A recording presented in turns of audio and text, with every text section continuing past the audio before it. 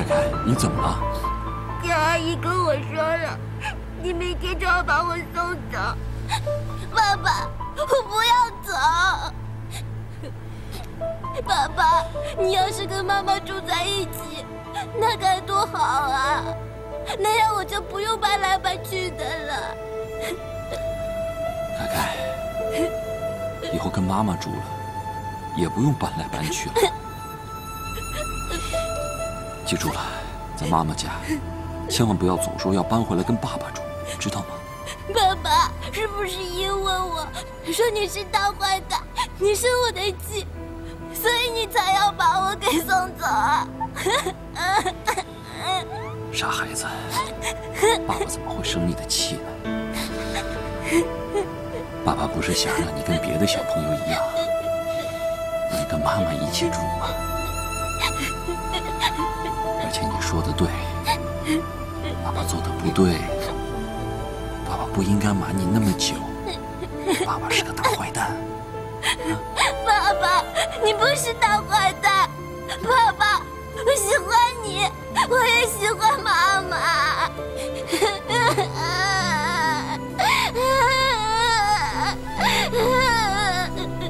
凯凯，不要哭了，我们谁都不是大坏蛋。不准哭，知道吗？以后啊，要注意吃饭，个子长得高高的。爸爸多希望你，希望你快快长大。凯凯不哭了啊！海大哥，那咱们以后每个周末把凯凯接回来吧。什么接不接的？刚过去，要跟他妈培养一点感情，不能老回来。再说，凯凯不也挺愿意跟他妈在一起的吗？但是我觉得，何美娜来了，我去开门。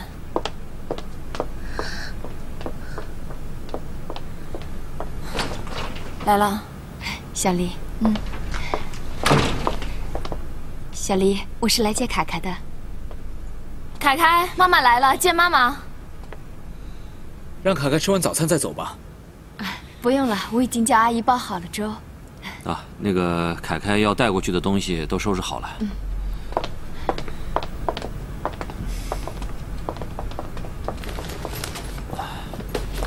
对了，那个，我把凯凯平时的一些生活习惯呢，都写在这张纸上了，你照着做就可以了。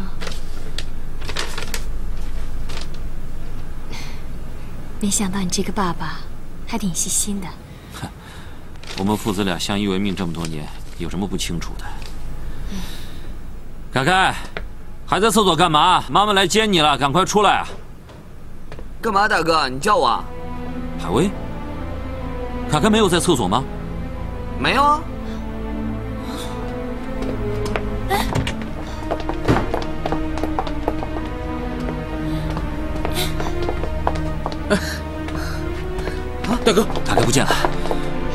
头去找一下。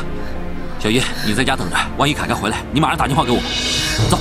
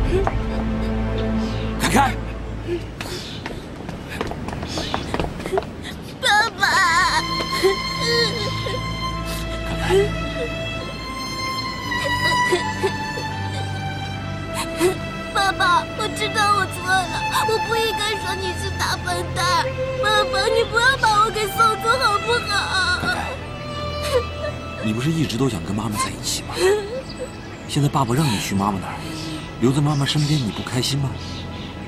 爸爸，我要永远陪伴在你身边。凯凯，乖呀，爸爸其实很不想让你走的，但是爸爸不能那么自私。你应该跟妈妈一起生活，有更好的生活，你知道吗？你妈妈跟我说，已经给你准备了一个小房间，布置的可漂亮了。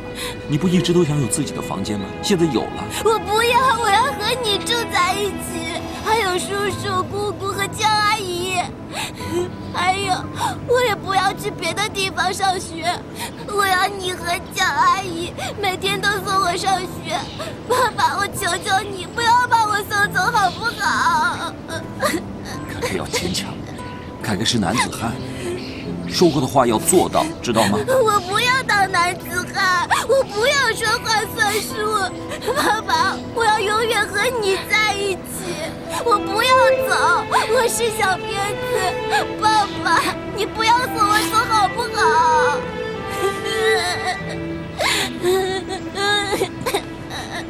好，好，咱不走了，爸爸再也不让你走了，好不好？一个人的房间，我也不要去游乐园玩了，我只要爸爸、江阿姨、姑姑和叔叔，我哪儿都不去。凯凯，爸爸给你发誓，再也不会抛下你不管了，我们永远在一起，好不好？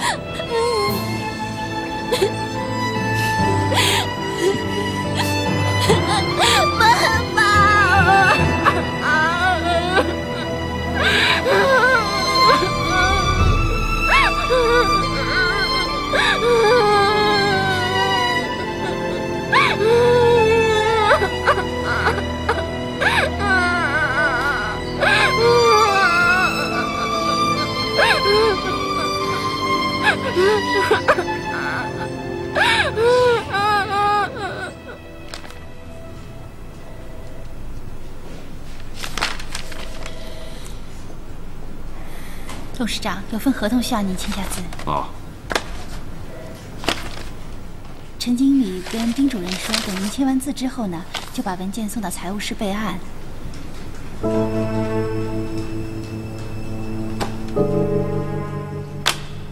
董事长，您还没签字。这你不用管了。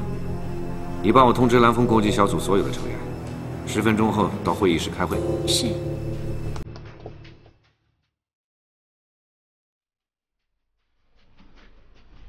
各位，你们知道为什么要召开这个紧急会议吗？因为，如果我再不管的话，公司恐怕至少亏损好几百万。这个是你们写给我的项目预算书，你们自个儿看看清楚吧。不错，傲天瓷砖在市场上独占鳌头，可是他们价格虚高。也是在业界有名的。既然我们在市场上可以找到其他的瓷砖，那为什么要多花三到五个百分点来指定傲天作为蓝峰国际的瓷砖供应厂商呢？你们两个知不知道？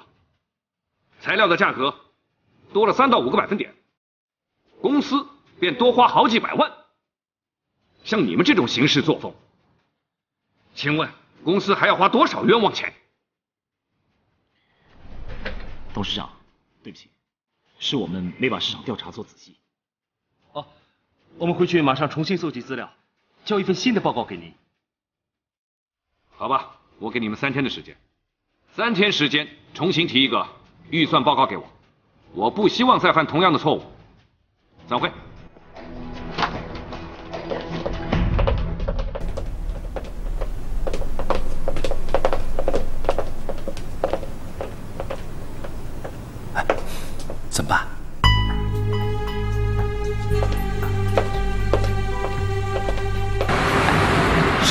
有仇？可你看现在，李董对咱们这项目盯得那么紧，今天说那个话，明显是针对咱们俩了。这有什么好怕的？丁锦江，说到底你就是胆小。不，这不是胆小不胆小的问题呀。啊，俗话都说了，留得青山在，哪怕没柴烧。我们何必要跟他这么争呢？反正总有一天他会松懈的。你有时间等是不是？我告诉你，我没时间等。我的程经理呀，你干嘛非要跟李董在这风口浪尖上斗啊？啊，弄不好最后两个人我们都得卷包袱走人嘛。你是不怕，可是我滚了我就回不来了。你说什么？这，我的意思是说，你反正现在已经是李家的女婿了，这么大的家业迟早都是你的，你何必急在一时呢？凡事，咱们都要从长计议，看看以后再说吧。啊，你先出去吧。我的意思，我叫你先出去。好，那我先走了。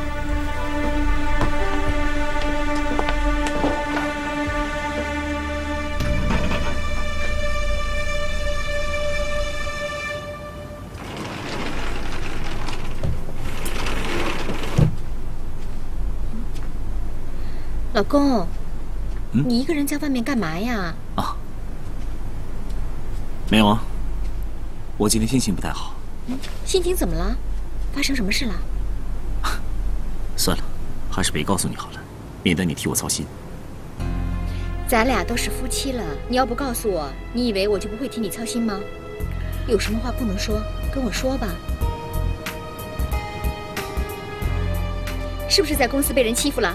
告诉我，我替你出头。我都已经是经理，谁敢欺负我？不过说真的，有时候真的是得看人家脸色。看谁的脸色啊？谁那么大胆给你脸色看？你说爸爸，小瑞，我们已经结婚了，可是，可是为什么老爸总是不相信我呀？我每次所做的决定，他就要先审审核过一遍，搞得我好像。好像是我在中间动了什么手脚，好像我要出卖公司一样。你知不知道，就连我们结婚，他也觉得我是有目的的。小瑞，不然这样好不好？我辞职，然后我们一起搬出去住。以我现在的实力，我一定可以扬眉吐气，我一定可以创造出自己的另一番天地的。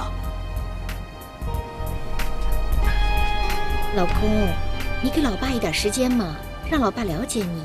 他会知道你对我是一片真心，对我们企业呢也是一片忠心的。那到时候咱们就有好日子过了，干嘛这么着急要辞职呢？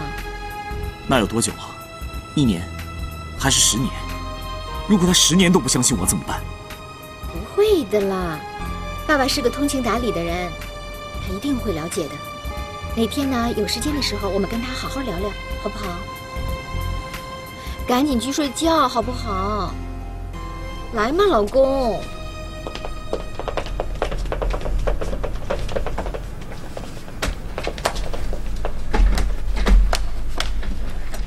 各位，我们今天开会的主要内容是要讨论一下蓝峰国际工程进度的问题。丁主任，啊，李董，这是目前的进度表。程，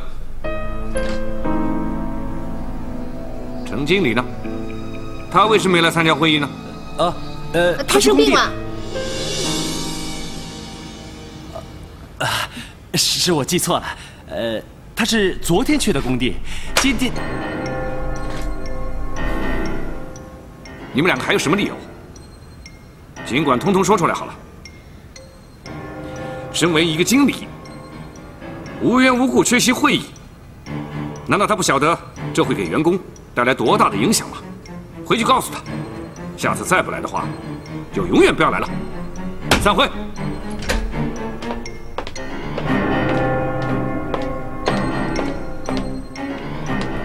丁锦江，你多管闲事。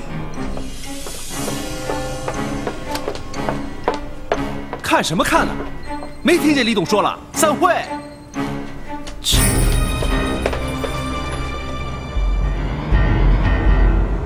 小瑞，我回来了。哎呀，你干嘛去了？现在都几点了，你才回来？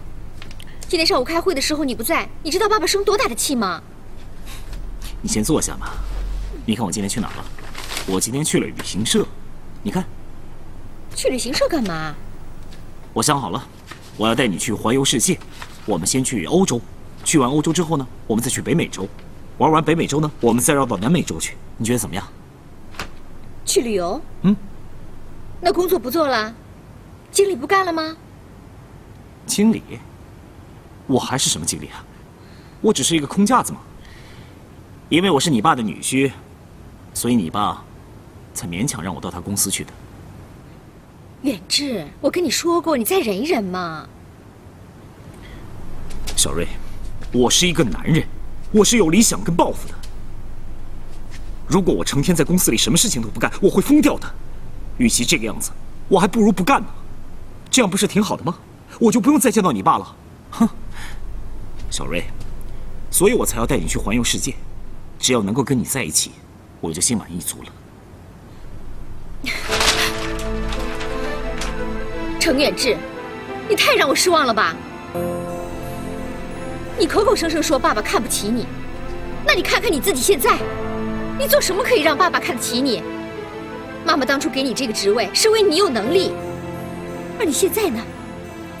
你跟我说带我去旅游，小瑞，我会这么做，那就是因为老爸他不相信我。我跟你说过很多遍了，你再给点时间嘛，再努力在那边好好的待一段时间，然后我再跟我妈说，行吗？跟你妈说有什么用啊？还不是一样解决不了问题。现在公司最大的股东是老爸，老爸说什么才算数，知道吗？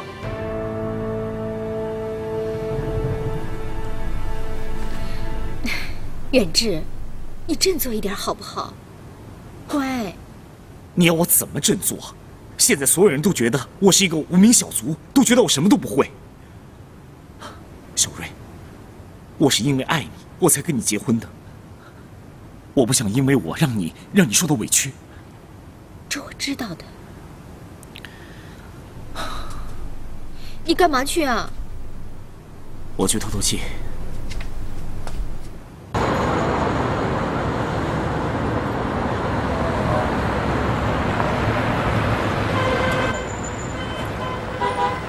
老秦啊，我现在去找小峰，你等我一会儿。哦，好。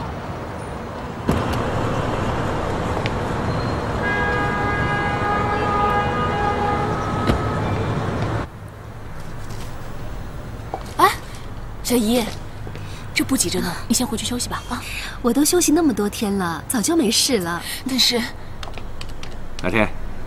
哎，伯父，您来了。走走走，我是来找小峰的。啊啊，好像在里面。小姨，李董，你来找二哥啊？小峰在吗？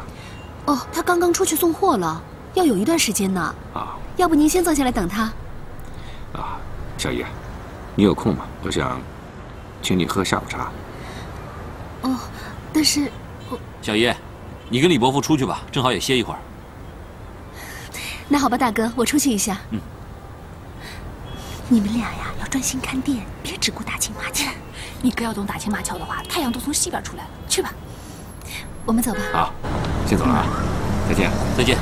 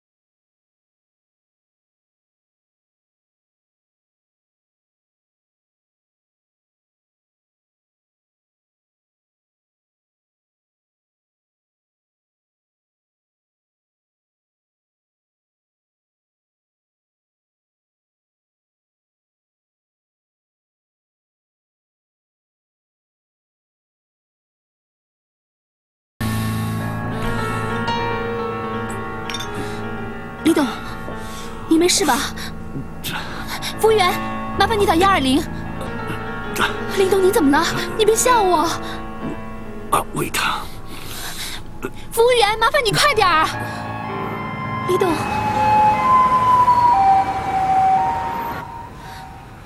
癌症，而且已经是晚期了。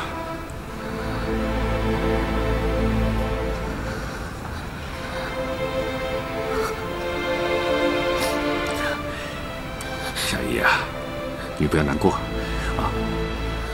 李东啊，你明明知道是那么大的事，怎么不早点告诉我呢？我跟你说，只是突然让你担心而已。这事儿已经这样了，就随他去吧。啊，早知道是这样，我说什么也不会离开您身边的。有你这句话，我就心满意足了。我很开心的。况且人就是这样子，什么时候该来，什么时候该去，都注定好了。你越替我担心，反而我 我会越放不下的。对不起，你这傻瓜，我的病又不是你引起的，你干嘛跟我说对不起啊？啊？哎，哦，对了，小姨啊，有件事情我要麻烦你。我这个病，你千万不可以给人家知道的。现在要替我保守秘密。但是，您的病……因为我时间不多了，还有很多事情没做。如果这病情公布的话，会影响我的布局，你懂吗？那好。像你这么多愁善感的女孩子，来，我跟你讲啊，待会儿出了这个病房，就要当做没事儿。要开开心心的，啊！嗯，小姨，嗯，帮我安排一下出院的手续吧。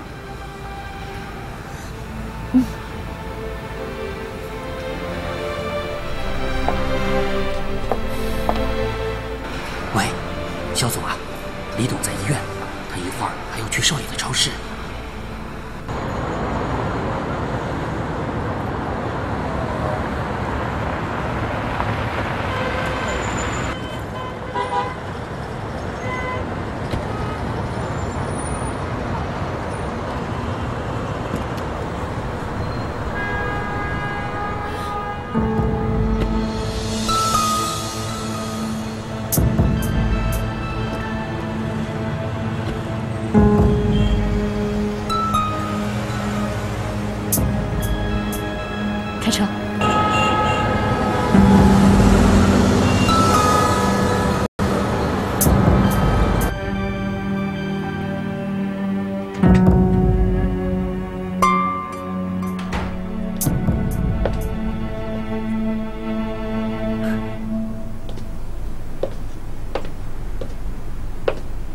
还没睡啊？嗯，睡不着，喝点酒解解闷儿。那我回书房了。哎，啊，怎么了？建国，呃，我今天替你签了一份文件，跟你打个招呼。什么文件？嗯，人事奖惩，也不是什么大事，但是挺急的。你的秘书说找不到你了，你今天去哪儿了？啊，我去工地看了看，本来是看完了，后来发生了点事情，我就留下来处理，所以回来晚了。还有事吗？呃，没有。那我回书房去处理点事情。呃，不要熬太晚。我知道。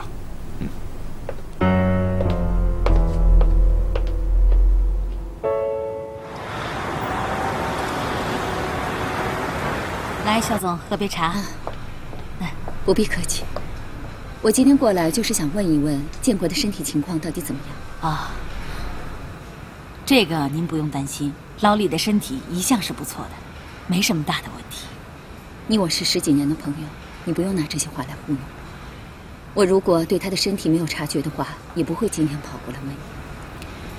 肖总，不是我不告诉你，但是作为医生，我必须遵守我的职业道德。难道我是老李的外人吗？可是他本人交代过，不能随便把病情告诉别人。郭大夫，我是建国的妻子，无论发生什么情况，都不应该瞒我。再说了，建国的脾气你也知道，他什么事情都喜欢自己扛着。他之所以不想把这件事情告诉别人，是怕我担心。可他越这样，越是担心。你能明白我的感受吗？您的要求让我有些为难呢。作为建国的妻子，我有权知道他的病情。再说了，如果我不知道他的病情的话，我又怎么能配合你们的治疗？好吧，这病历可以拿给你，但是你放心，咱们俩今天的谈话我是不会告诉建国的。再说了，你是他的主治医生，我是他的妻子，咱们俩的目的都是一样的，都是希望他好。好，您稍等一下。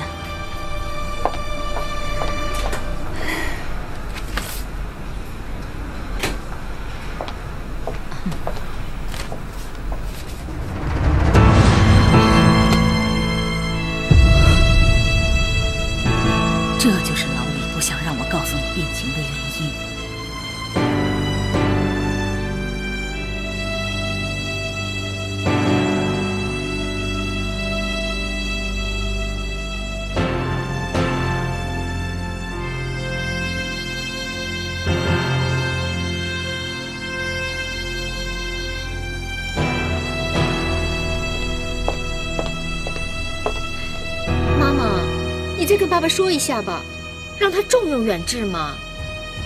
其实远志也蛮可怜的，天天上班无所事事的，再那么下去，他肯定会受不了。妈，你怎么不说话呢？远志是你的女婿，你不会见死不救吧？你先出去，有什么事儿晚点再说。有什么事儿能比远志的将来和我的幸福重要吗？我想静一下，晚点再说。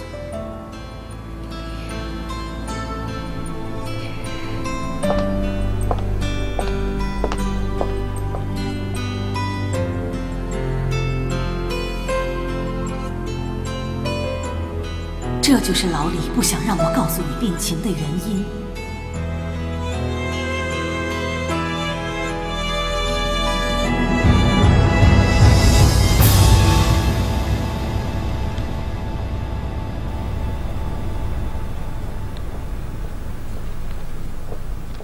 李董，您的咖啡。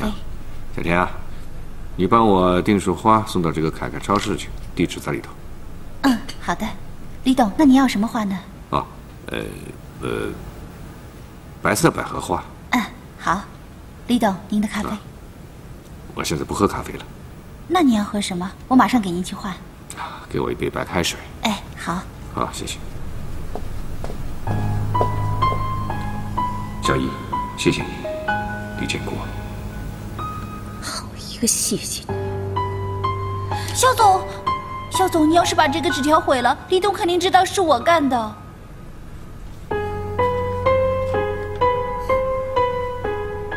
夏天啊，你这件事情做得很好，谢谢肖总夸奖。你要知道你的工作是谁给你的，如果没有我的话，你是根本不可能当上董事长秘书的。所以呢，你只要对得起我就可以了，明白吗？明白了。好，那现在呢，你就按照李董的要求，把鲜花给程一送过去。是。对了，这件事情除了你我之外，不要让第三个人知道，明白吗？明白了。去吧。请问哪位是程一小姐？啊，我是。好，哎，请您先收。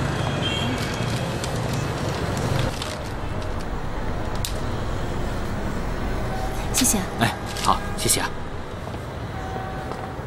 哇，三姐真有魅力啊，又有新的追求者了。小鱼啊，这花儿谁送的？嗯，我也不知道。小姨，谢谢你，李建国。三姐，你别光笑啊，告诉我们是谁嘛。多事就不告诉你。嗯，小姨，不会是他送的吧？大哥，你想说什么啊？就是，就是那谁嘛。不会的，大家别担心了，好不好？那我就放心了。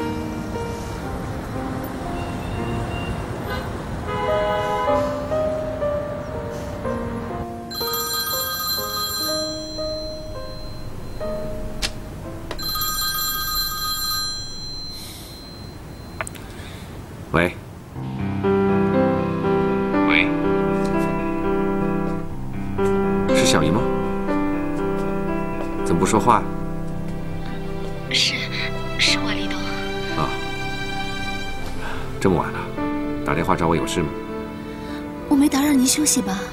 没，我还在熬夜加班呢。那您可要多注意身体啊，别总是熬夜，要早点休息啊。唉，我这副老骨头了，就是每天要做，不做反而会生病的。哼。但是我知道，我会注意休息的。对了，李董，谢谢你送给我的百合花，我很喜欢。嗯，你喜欢就好。为什么会突然送花给我呢？虽然你离开公司了，可是在我心目中，你永远是我的秘书。你的优秀是没人可以取代的。李董，您太夸奖我了。我这人就是这样子嘛，摆在身边呢不重视。哎，你跟我这么多年了，我没有送过你任何东西。等你走了，我才发现你对我有多重要了。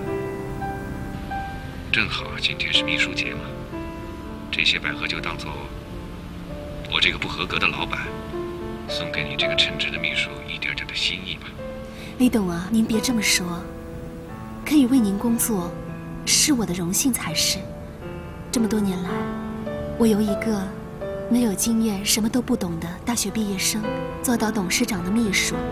这都是因为李董您一直在支持我、栽培我，我该感谢您才是。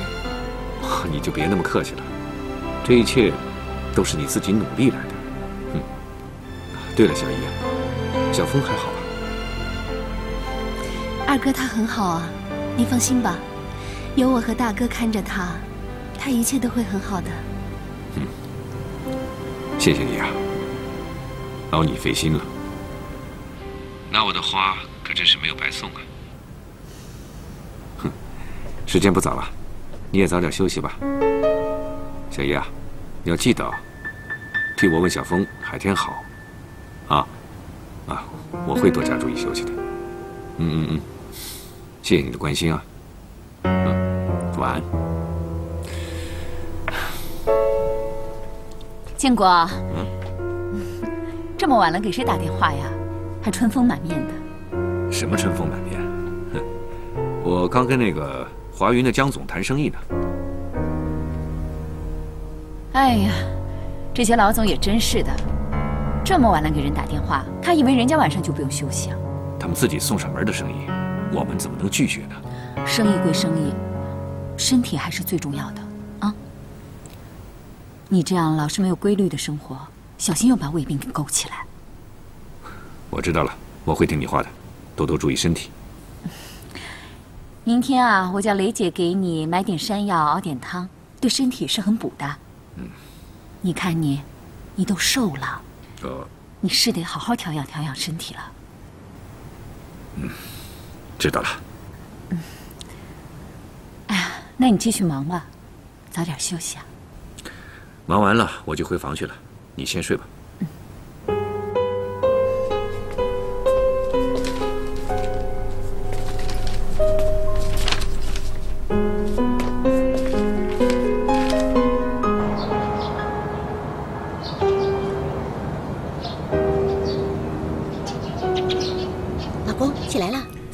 公，哎呀，干嘛？还能干嘛？去找老爸，跟他说重有你的事儿啊！赶紧起来吧！哎呀，跟他说什么？有什么好说的？说了也白说。不去，我要睡觉。哎呀，起来了，起来，快起来！哎呀，来，好，快去。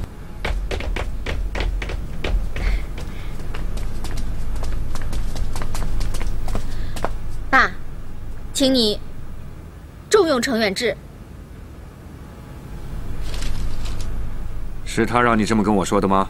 他没说过，是我自己来说的。有什么事情吃完饭再说吧。我就问你一句话，你到底要不要重用程远志？我不都已经让他回李氏了吗？可你把他的职位给架空了呀！他在里面一点实权都没有。与其这样，你还不如把他辞掉呢。我说过了，我得好好的观察一段时间。一段时间是多久啊？现在全公司的人都拿我们的事情当笑话看，你让我这张脸往哪儿搁？我请你重用程远志吧。小蕊，我让他回公司，已经是我最大让步了。你休想得寸进尺，我不会答应的。你为什么非得这么死板呢？我是怕你识人不清，被人给骗了。都是一家人，哪有什么骗不骗的？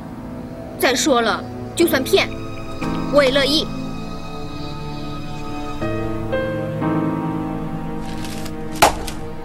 你乐意让他骗是你的事，但李氏绝对不能被他骗走。你李氏集团迟早都要交给我们两个，那早跟晚有什么区别吗？我凭什么非要把李氏交给你们两个呀？我不能交给你哥哥吗？你交给哥可以，如果他愿意的话。他现在连家都不愿意回，你觉得他愿意接受你的公司吗？小峰不管没关系，我大不了把公司卖掉，我所有的钱捐给慈善机构，总比让人骗走的好。爸妈，远志的事情，我会找时间跟你爸谈的。坐下吃饭吧。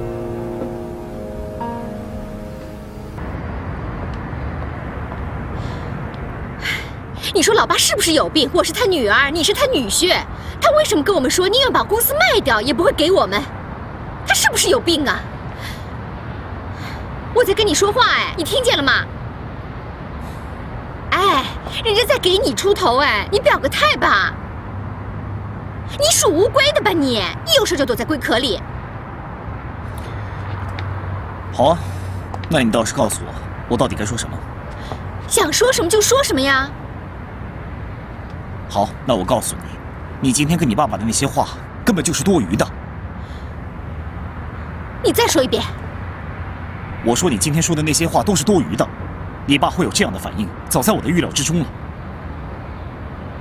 不管是在家里还是在公司，只有他说了才算，不管别人说什么，他都不会接受，也不会采纳。还有，如果他想整治我的话，不管我们解释再多都没有用，我们只是自取其辱，你知不知道？好，我自取其辱。程远志，以后你的事儿我不管了，你自己爱怎么弄怎么弄吧。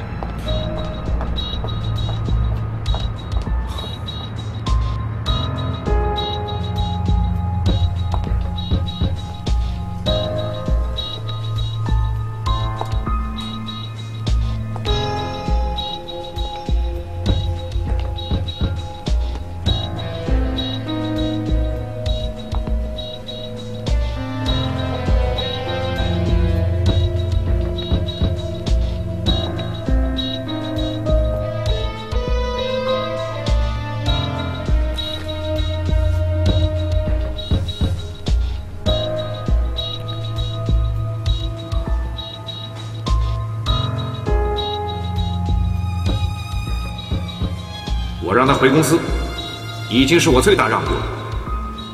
你休想得寸进尺，我不会答应的。小峰不管没关系，我大不了把公司卖掉，我所有的钱全给慈善机构，总比被骗走的好。你乐意让他骗是你的事，但李氏绝对不能被他骗走。丁锦江，你别以为我不知道，程远志回来之后，你又可以和他一拉一唱的中饱私囊，狼狈为奸了。您这是冤枉我了！您别听外面胡说八道，我没有，我真的没有啊！做人就跟做事一样，要对得起自己的良心，不要见钱眼开、见利忘义。丁锦江，我希望你把你那套阿谀奉承啊、见风使舵啊那些招数都收起来。是是是，李董批评的及时。但是李总，我向您发誓，我是真的不知道这个这个工程偷工减料的问题，还有我真的从来没有吃过任何的回扣啊！没有，丁丁江，没有你这匹师徒老马陈远志，他怎么敢这么快的就搭上供应商呢？还有，没有你包庇纵容的话，程远志他怎么敢肆无忌惮的收回扣呢？这这这这都怪我，我我我是一时糊涂，我我告诉你啊。之前是因为我念你替公司服务这么多年，没有功劳也有苦劳的份上，我没有开除你。谢谢，谢谢李董。以后你再给我使小聪明，不走正道的话，李董，您放心，我从此以后真的不敢这样了。我一定好好工作，尽心尽力为公司做事。我我要的是行动，不是空口说白话。你放心，下次再被我逮到，两罪并罚。是，知道。知道，您放心，我一定好好做事，一定好好做。好了，你可以走了。是。